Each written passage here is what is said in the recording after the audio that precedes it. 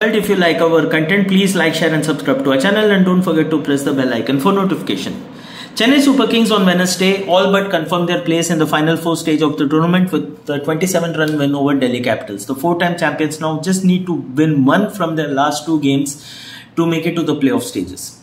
Despite the win, there is some news for the Indian cricket fans who might be concerned with a huge year of international cricket, concerned with the World Cup to be held in India at the end of the year.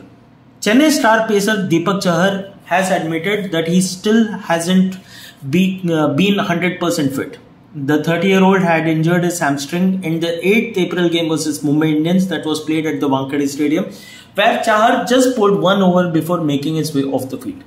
After the win over Mumbai Indians last Saturday in what was the written fixture at the Chepauk Stadium, Chennai said to CSK's official YouTube channel, and I quote, It is very difficult with injuries every time you get injured you start from zeros still not 100% but trying to do a job to contribute to the team unquote Chahar has been frequently out of the Indian team due to injuries and if he's still to gain 100% fitness then it will have a huge question mark on his future in the Indian team with the World Cup around the corner.